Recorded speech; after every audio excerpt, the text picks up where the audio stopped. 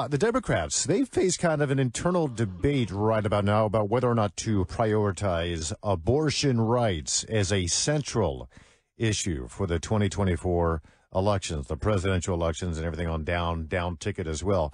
And it comes amid all these concerns uh, that such a focus like that, Kevin, might detract from, you know, some other issues of concern, some broader things that might be potentially more appealing, like uh, the economy, that being one of them. Well, Tom, for Democrats, it's a messaging strategy that has worked. Uh, putting abortion rights and Republican extremism at the forefront uh, worked in the past two elections, at least. Uh, Democrats, uh, do they go back to that as the key issue in 2024 because it's worked in the past? Uh, if they do, at the expense of talking about, like you said, Tom, the economy, will that end up hurting them? Let's bring in Roshini Rajkumar, political strategist and host of the Crisis Files podcast, also an attorney. Good morning, Roshini. How are you? Good morning, guys. Great to be with you. Yeah, I appreciate uh, you being here. Would you would you agree with me or disagree with me? The Democrats have been pretty successful uh, in, in, the past couple of elections uh, with the abortion issue. You know, they have been very successful. One thing we need to keep in mind is midterm versus the presidential cycle year. So those are some things. What else is on the ballot? You know, I think you also have to remember nothing happens in a vacuum so the various things that are happening, whether it's at the Supreme Court or in a particular state, that will also play into kind of the national sentiment when it comes to the topic of abortion. And in, you know, the, the most recent elections, the Democrats, it's paid off for them. You know, in my own state of Minnesota, we have a fully Democratic legislature and governor, and that hasn't happened in a while. And uh, they really did use that abortion issue in 2022 to uh, gain power. Yeah, that's what happened here in Michigan as well. Um, if if they decide that that's been working and, and they really put uh, that issue front and center again, is there a risk of, of not saying, look, we get it, we we understand that uh, you're hurting out there financially and the economy is the number one issue? Well, it will be a tough one for them. Here are a couple of reasons why. Their president, Biden, is not very popular right now. I mean, he's it, he's on a slippery slope. He's really trying to convince the country that Bidenomics is working. Not everyone believes him on that.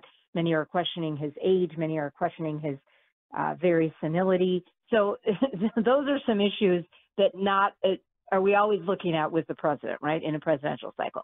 Then you also have a lot of people who are hurting in the pocketbook. So even though it looks like the jobs reports are coming out fairly well, and that helps whomever is in power.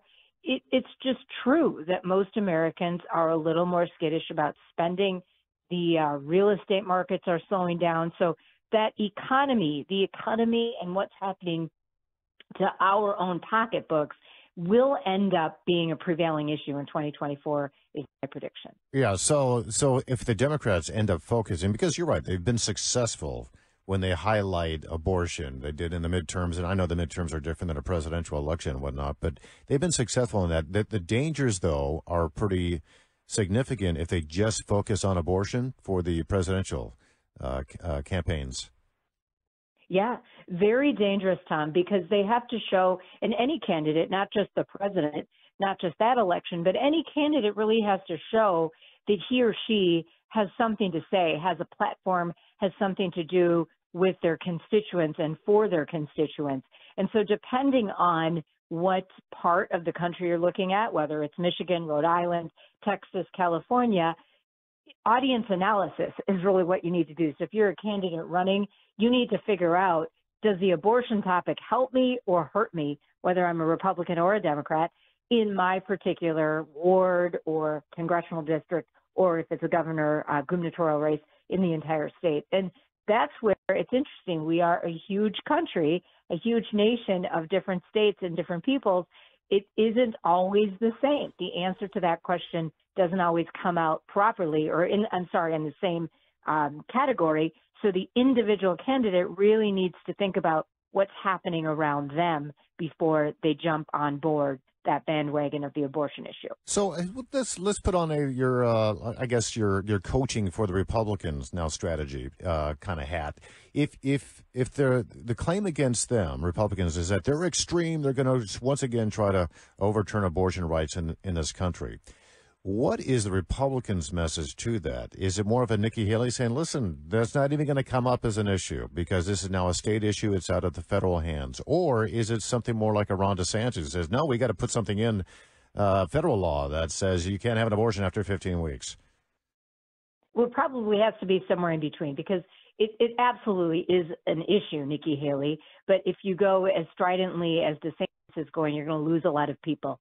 The best thing the Republicans can do is focus on the economy, where in a lot of years they actually come out doing pretty well. So if they can show that their policies for the economy, their policies for jobs, for tax protection, for um, minimizing taxes, which is one of their things, if they can show all of those things and just say, look, I believe in, you know, whatever it is, if it's Nikki Haley, I believe in in life and that's why I'll always personally be against abortion. And that's fine if she wants to take that moral stand. But there are others who may also believe in life while at the same time believing in a woman's right to choose.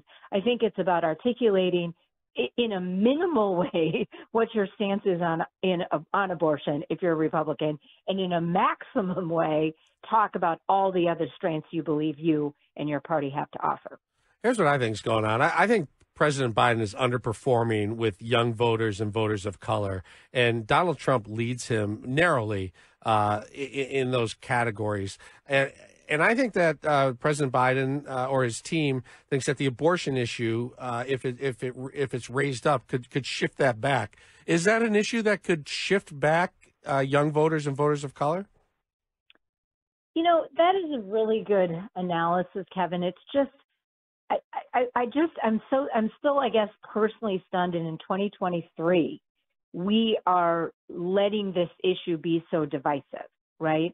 And it was a very big deal when Roe was overturned. It was a very big deal, but there is a case for each state doing its thing. There is actually a case for that in our federal system. And so I don't know that can lump all young people and all people of color into one bucket. I myself am a person of color. I am also a small business owner. I am someone who doesn't want to pay a lot of taxes. I want to have some sort of security.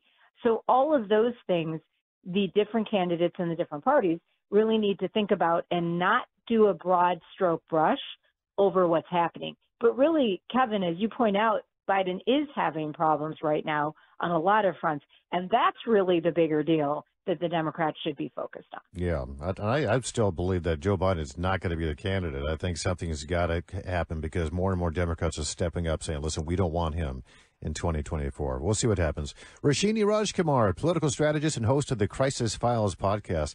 Good to talk with you, Roshini. Thank you. You too, guys. Thanks.